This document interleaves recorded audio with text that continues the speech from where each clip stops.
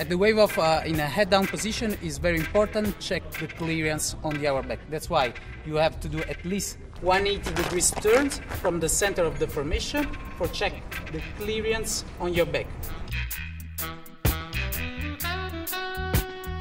Once you know that, start to push in the right direction away from the center of the formation.